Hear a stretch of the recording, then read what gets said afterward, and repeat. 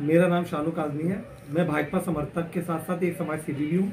जैसा कि आज हमारे देश के प्रधानमंत्री नरेंद्र मोदी जी ने एक फैसला लिया है फिर से, जैसे कि लॉकडाउन को बढ़ाया गया है तीन मई तक के लिए।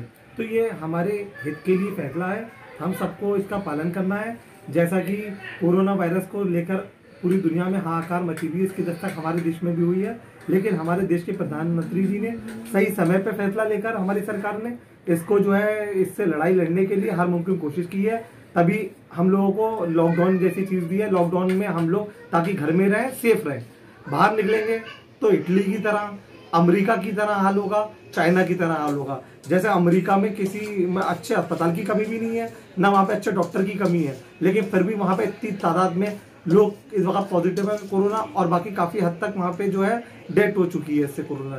तो इसका बचाव ये है, अपने घर में रहे, सतर्क रहे। जब तक हमारी भारत सरकार, हमारे डॉक्टर्स इसमें जो है लगातार काम कर रहे हैं कोरोना से और जंग भी जीत रहे हैं और इनशाला ताला हम लोग बहुत जल्द हमारा देश ये जंग जीतेगा।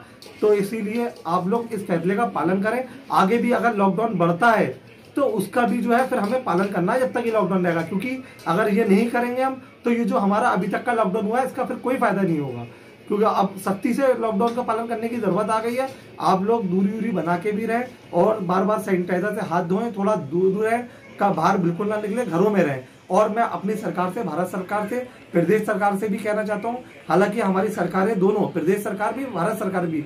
हमारे मुख्यमंत्री यूपी के आदित्यनाथ योगी जी भी बहुत काम कर रहे हैं, काफ़ी सहायता कर रहे हैं। और इसी तरीके से मैं चाहता हूँ आगे जब तक ये लॉकडाउन चल रहा है, किसी को बस कोई दिक्कत नहीं होना चाहिए। इसके लिए मैं उन सबका भी शुक्रिया अदा करना चाहता हूँ, चाहे किसी भी पार्टी से हो, वो काफ़ी काम कर रहे हैं और काफ़ी समाज के लोग, लोगों को भूखा नहीं रहने दे रहे हैं। हर मुमकिन कोशिश कर रहे हैं। ये बहुत सराहनीय है सबसे बड़ी बात है, हमारे देश में इस वक्त कोई भेदभाव नहीं चल रहा है, सब एक दूसरे की हेल्प कर रहे हैं, जैसे भी जिससे जो हो रहा है, वो देश के लिए कर रहे हैं, योगदान दे रहे हैं। मैं अपने स्वास्थ्य स्वास्थ्य विभाग डॉक्टर पुलिस प्रशासन और सफ़ाई कर्मचारी कर्मचारी और मीडिया का तय दिल से शुक्रिया अदा करता हूँ। वो इस मारामारी में, कोरोना जैसी चीज़ में भी इसकी जंग में हम लोगों को अपनी जान की परवाह किए बिना, इसकी जो है लड़ाई में हम लोगों के सहयोग के लिए रोडों पे निकली भी और हम लोग जो है सेफ़ है। हम लोगों की सेफ्टी के लिए काफ़ी योगदान दे रही जय हिंद, जय भारत, हिंदुस्तान, जिंदाबाद।